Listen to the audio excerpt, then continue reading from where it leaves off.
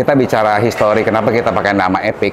Sebenarnya dari karena kita di Semarang berdirinya. Hmm. Ada satu bahasa Jawa eh, yang Apik. kata-katanya apik. Oh, apik. Apik, Ah. apik itu kan baik, bagus. Oke. Bahkan kita kita sendiri Epic Biller di Boy kita kita kita tambahkan tagline kita, Hmm. Om Bill. Tagline kita adalah full passion, play perfection. Oh iya, sesuai sesuai jargonnya. Ah, sesuai dengan tagline kita. Jadi eh, passion bermain biliar itu yang menjadikan kita bisa bermain dengan perfect.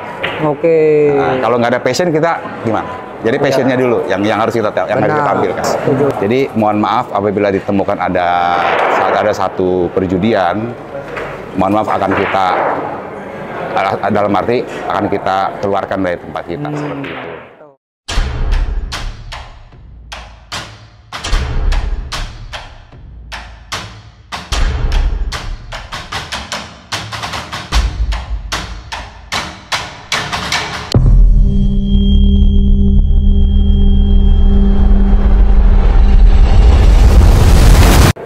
Semuanya salam biliar tanpa judi ketemu lagi di channel kesayangan kalian Om Biliar ya kita lagi di Semarang di Epic Biliar bersama ownernya Bang Andre Ya, perkenalan dulu Bang tak kenal maka tak sayang iya. salah. yang kenal pun nggak sayang-sayang Kalau kita kenal saya mulu. Gimana ya perkenalan Bang langsung Ya, oke. eh, selamat. Nama saya Andre. Saya salah satu owner dari Epic Biliar Semarang. Eh, saya hari ini bersama dengan Om Bill, guru besar saya, Guru besar. mentor, dan salah satu yang membuat Epic Biliar berdiri dengan salam biliar tanpa judinya itu yang menjadi yang menjadikan kita semangat untuk mendirikan Epic Biliar. Wih, keren ya berarti perpanjangan tangan salam biliar tanpa judi nah ngomong-ngomong Epic Biliar ini kan kalau kalau saya orang awam kan biasa dengernya di game nih ya Epic terus apa lagi namanya selain Epic apa namanya Legend, Legend ya. Legend. Nah, kalau epic sendiri apa nih artinya, Bang? Ya, epic sebenarnya gini, eh, epic itu kan kalau kita bicara epic kan sesuatu yang mengagumkan ya. Mengagumkan. Mengagumkan sesuatu yang mengagumkan kalau dalam istilah sebenarnya ini bukan bukan bukan bukan satu bahasa Inggris yang baku, tapi eh, satu sebutan lah, satu sebutan yang wih epic banget gitu loh.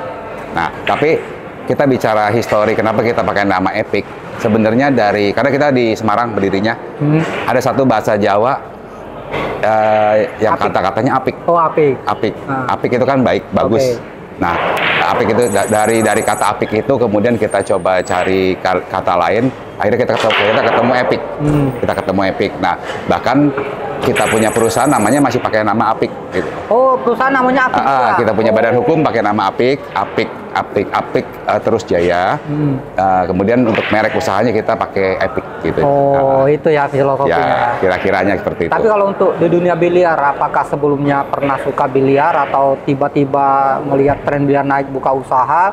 Dan kalaupun eh, kenal biliarnya, kira-kira kapan nih? Oke. Bang, Kenalnya. Jadi gini, kita sendiri pernah pernah menjalankan usaha biliar juga dulu. Oh, pernah. Tahun- pernah tahun? tahun 2006. 2006, 2006 ya? masih masih biliar model model dulu. Ah. Nah, 2006 kemudian kita sampai 2006 sampai 2010-an. Hmm. Dan kita sempat eh, vakum kita alihkan ke usaha kita yang lain. Hmm. Nah, eh, akhir-akhir ini kan saya banyak banyak lihat YouTube salah satunya YouTube dari Om Bill. Hmm. Nah, itu di situ tercetus satu semangat yang kayak semacam kayak passion, kayak passion kita keluar lagi. Oke. Kemudian spirit kita keluar lagi, spirit dalam arti dengan slogan teks biliar tanpa judi itu buat kita mengartikan sesuatu yang something something different gitu loh. Yang oke lah kebetulan kita punya space, space kita kosong, ayo kita bareng-bareng kita kerjakan. Akhirnya kita Oh, buka gitu ya. biliar ini gitu loh kurang lebih. Jadi, eh, nah ini pelajaran nih buat teman-teman. Sebenarnya kalian kalian itu nggak bisa kerja eh, dengan passion kalian. Jadi kayak Bang Andre ini, eh, beliau membuka YouTube baru keluar passionnya. Jadi Ya. sebenarnya kalau namanya di dunia kerja atau kalian mencari rezeki ya, kalian itu nggak bisa memaksakan kerja sesuai passion kalian yang sekarang. Jadi eh, intinya adalah kalian harus belajar, cari referensi, ketemu orang-orang, biar passion kalian sesungguhnya itu keluar. Begitulah Betul, kira-kira. betul Om. Bang? Bah- bahkan kita kita sendiri Epic Biller di Boy kita kita kita tambahkan tagline kita, Hmm. Om Bill. Tagline kita adalah full passion, play perfection. Oh iya, sesuai sesuai jargonnya. Ah, sesuai dengan tagline kita. Jadi eh, passion bermain biliar itu yang menjadikan kita bisa bermain dengan perfect. Oke. Nah, kalau nggak ada passion kita gimana? Jadi passionnya dulu yang yang harus kita yang harus kita Benar. tampilkan. Setuju. Ah, Nah kalau kalau saya kan pegiat biliar tanpa judi nih dan Ya. juga otomatis tanpa alkohol. Dan kita juga diundang ke sini karena udah ngeriset katanya nggak ada judi dan an- nggak ada alkohol itu beneran beneran. benar sekali, mobil. Tapi kalau ketahuan judi gimana nih konsekuensinya? Ya, kalau kita dari awal dari pintu masuk kita udah ada rule ya. Hmm. Rule di situ kita tulis yang pertama adalah dilarang berjudi. Hmm. Nah, itu rule dan kita juga ada pengawasan di sini. Kita ada pengawasan dalam dalam dalam arti kita punya pengawas untuk uh, melihat uh, player-player atau pemain-pemain kita jangan sampai mereka melakukan judi. Nah, apabila uh, karena kita rule ya kita sudah jelas, jadi mohon maaf apabila ditemukan ada saat ada satu perjudian, mohon maaf akan kita uh, dalam arti akan kita keluarkan dari tempat kita seperti itu. Tuh Uh, dengar ya. Video ini menjadi bukti ya. Mudah-mudahan beneran ya. Iya. Iya. kalau untuk eh, dari segi pelayanan apa yang mau diunggulkan dari Epic Biliar? Hmm, ya seperti mungkin seperti tempat biliar yang lain juga. Tapi kalau dari kita yang paling utama kita utamakan adalah kenyamanan dulu. Oke. Kita utamakan kenyamanan dari mungkin dari ruangan dengan space meja yang tidak terlalu sempit. Kemudian kita untuk sofa kita atur private private juga supaya tidak terlalu bersinggungan antara satu meja dengan meja yang lain. Dan sofanya juga unik. Ya, terima kasih ambil. Kemudian eh, dari sisi pendinginan ruangan juga harusnya standarnya kita di total dihitung oleh tukang AC dengan BTU itu kita cukup 28 PK. Kita tambahkan menjadi sampai 37 PK. Buh, 37 PK. Ya, 37 PK karena kita punya prinsip kalau udah panas kurang AC susah. Hmm. Tapi kalau dingin bisa dimatiin. Bisa dimatiin. Ya, bisa dikurangin. Jadi setiap hari kita operasional tidak dengan full capacity AC. Jadi kita nyala bergantian. Pertama AC juga lebih awet. Kemudian juga apabila apabila ada maintenance, ada service, ada apa tidak mengganggu pendinginan yang ada di ruangan. Oke. Kurang lebih seperti itu. Nah, kalau pertanyaan selanjutnya nih. Jadi kan ini mengusung biliar positif.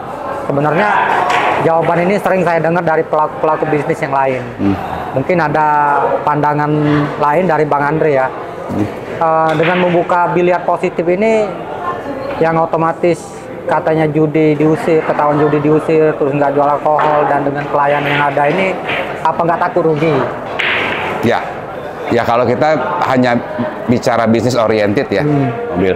Mungkin kalau kita bicara bisnis oriented, perhitungannya eh, tentunya kita masing-masing ada perhitungan, ada perhitungan, ada target, ada kita buat proyeksi, kemudian ada ada FS semua.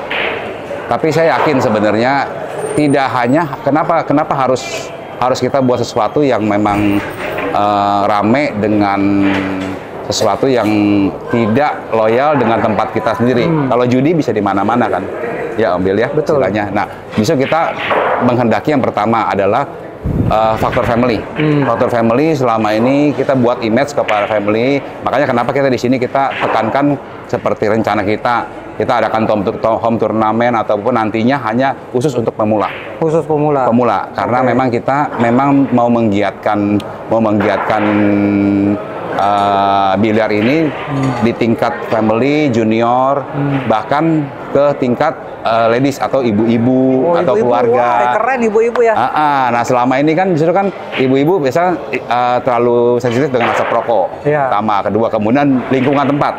Benar kan kalau memang eh, mereka ternyata banyak banyak banyak family, banyak banyak banyak anak-anak yang masih junior-junior, akhirnya terbentuk satu satu wadah wadah komunitas biliar yang memang bisa merangkum dari dari dari dari dari kalangan family juga gitu Hmm.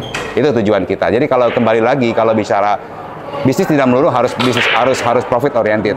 Itu akan akan terjadi akan akan akan kita capai kalau memang kita yakin aja. Oke. Jadi poin pentingnya adalah build the market. Yes, betul. Menciptakan market, bukan ngikutin market yang sudah ada. Ya, istilahnya eh, jangan kita menjadi follower, Hmm, tapi kalau bisa kita menjadi trendsetter. keren. Ya. Nah, terus juga kita kan sama tim kan kalau ke rumah biliar kan kita sering bahas rumah biliarnya gimana, terus pelayannya gimana. Terus kita sering ngobrolnya di hotel nih kan. Hmm. Nah, kalau dari ngelihat fasilitas yang menurut saya mungkin RAB-nya agak sedikit bengkak ya. Dan eh, harga per jamnya menurut saya rela- relatif murah nih. Iya. Untuk level skala interior Epic Biliar. Iya. Nah, itu apa alasannya? eh kalau bilang RAB bengkak, mungkin ya. Iya. Tapi kita juga, kebetulan saya juga kontraktor mobil. Oh. Kebetulan saya kontraktor dan project ini saya handle sendiri semua dari Oh, nol. sendiri. Semua dari sendiri saya nol, saya gambar sendiri, ini sendiri. Dan kita juga pakai bisa pakai alternatif material mungkin yang kita bisa atur tidak terlalu overload dari RAB. Hmm. Kurang lebih seperti itu. Berarti kontraktornya kontraktor sendiri, nggak takut ditipu. Kalau tipu dia berarti menipu diri sendiri. Ya, betul, Bang, ya? betul, betul, betul, betul. Nah untuk ke depannya bang ada nggak rencana pembinaan atlet atau apalah untuk eh, secara teknis mendukung program biliar Indonesia gitu? keinginan Karais itu sangat kuat. Om. Ah. Keinginan itu sangat kuat. Makanya kenapa salah satu talent awal yang kita tampilkan di sini langsung kita ke masternya. Buk, Kita kita kita eh, mau, mau kepada tamu-tamu kita bagaimana biliar yang benar, teknik biliar yang benar. Apalagi kebetulan ambil di sini cukup lama ya. ya. Dan nanti di hari-hari mendekati hari-hari ada ada rencana aja ada special coaching nih ya. Hmm, Bener ya? Ini the best special coaching yang akan diberikan oleh Om Bill khusus untuk untuk tamu-tamu Epic. Jadi Dan koreksi kalau salah ya. Dan sepertinya ini bakal coaching klinik pertama di Indonesia yang membahas hypnosport. wis luar biasa, keren, top. Karena coaching klinik kebanyakan mereka membahas soal, te- soal teknis. Nah ini spesial lah di Epic Biliar ya. Mungkin saya satu-satunya pelatih biliar, biliar. Mungkin ya, mungkin ya koreksi kalau salah. Yang coaching kliniknya membahas hypnosport. Jadi gimana gimana cara kita me- menggunakan eh, mindset dan membentuk mental baja tuh. Hmm. Jadi lebih ke peningkatan percaya diri, motivasi, penguasaan meja, penguasaan penonton dan semuanya.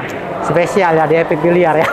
Itu itu juga salah satu yang aku harus belajar. Oh, gitu. Karena kalau main bola bola bola 9, 1 sampai 7 masuk, 8 9-nya belok. Nah, Karena mental. Ya. Nah, kalau untuk dari segi makanan, menurut saya sih standar restoran ya. Terus juga makanan juga enak dan Terima murah. kasih. Terima kasih. Nah ini kasih lagi alasannya nih, kenapa nih? Kalau dihitung itu nggak- nggak masuk akal ini per bulannya ini. Iya. Jadi kita kebetulan juga kita punya chef juga ex salah satu hotel Oh, ambil oh, pakai salah- chef ya? Iya, kita pakai chef. Oh pakai set. Eh, chef kita satu satu chef dan dua asisten chef. Hmm. Itu mereka bertugas tugas bergantian dan memang kita bikin untuk food di sini food dan beverage di sini kita buat sesuatu yang simple. Yang simple dalam arti kita juga menu tidak terlalu banyak. eh, tapi kita buat sesuatu Oh, yang iya. memang agak sedikit berbeda. Ya. Sedikit berbeda. Mungkin salah satu contohnya kemarin waktu ambil begitu sampai yang pertama saya sajikan adalah singkong goreng ya. Hmm. Iya kan betul ya. Nah kita coba rasakan singkong goreng dan ya banyak syukur-syukur banyak yang suka singkong Iya. goreng. Kita kayaknya punya karakteristik yang beda contohnya. Nah eh, untuk harga sendiri kita buat sesuatu yang ya kita jualan pasti untung lah. Kita kita kita kita pasti wajib cari untung. Oke. Tapi perhitungan perhitungan cost kita sendiri untuk beverage dan untuk food kita buat eh, ya tidak terus terang margin margin kita kita ambil tidak terlalu banyak. Hmm. Tujuannya kenapa? Karena memang kita bukan khusus untuk di restonya, tapi kita itu kan merupakan satu eh, support yang diberikan, yang harus diberikan kepada customer pada saat mereka main dan pada saat mereka tunggu juga kayak seperti kita, kita buat area area waiting kita seperti sedikit seperti semi cafe ya. Jadi orang bisa nunggu, ada wifi, ada bisa makan minum sambil sambil menunggu giliran bermain di mejanya. Kurang lebih seperti itu. Nah, dapat ilmu lagi nih buat teman-teman. Jadi kalau kita membuka bisnis biliar tuh jangan melewati kapasitas kalian sebagai pebisnis. Jangan mau ngejar BEP-nya doang. Jadi kata Bang Andri tadi menunya nggak terlalu banyak dan enak. Dan ini juga mempengaruhi faktor eh, penyajiannya. Jangan kita nafsu mau ngejar BEP menunya banyak dan malah nanti yang di dapur malah kelabakan kan. Betul, dan Ya. sa- dan satu hal juga banyak spoil jadinya. Hmm. Semakin kita banyak menu, semakin banyak bahan baku yang terbuang kalau Iya, nggak betul, terpakai. betul, betul. Nah itu juga salah satu yang kita bisa reduce cost kita supaya harga kita tidak terlalu mahal. Iya iya iya. Ah, kurang lebih itu. Nah tadi kan menu favoritnya singkong goreng nih bang. Ya, Emang di Semarang kulinernya nggak ada singkong goreng atau gimana? Eh, Kenapa memilih singkong goreng? Ada juga Semarang. Kebetulan kita punya chef memang dia punya satu resep satu satu resepi atau resep yang memang dia bisa mengolah singkong itu Oh, eh, yang mana kontur singkongnya itu udah hilang. Iya, iya, iya, iya. Seperti yang mungkin mungkin yang seperti Om Bil rasain, mungkin singkongnya kok rasanya walau digigit jadi kayak kentang atau jadi kayak Hmm, ubi, benar, lembut, seratnya udah nggak ada, di tenggorokan tidak seret. Iya, ya, itu itu salah salah satu karakter tapi digoreng dengan eh, dengan sisi sisi sisi luar yang sangat crunchy. Hmm. Crunchy di luar, lembut di dalam. Kurang lebih seperti itu. Oke, sekian dari kita. Pokoknya terima kasih banyak Bang Terima kasih. pengalamannya. Terima kasih Semoga ini bukan cabang pertama, akan ada cabang kedua, ketiga dan seterusnya. Iya, Biar mudah-mudahan bisa ngundang kita terus. sampai Palembang cabangnya. Wih, amin. Amin. Ya, sukses juga buat Sip. Om Bil dan tim seluruhnya. Sukses Amin. luar biasa. Oke. Terima kasih. Salam biliar tanpa judi.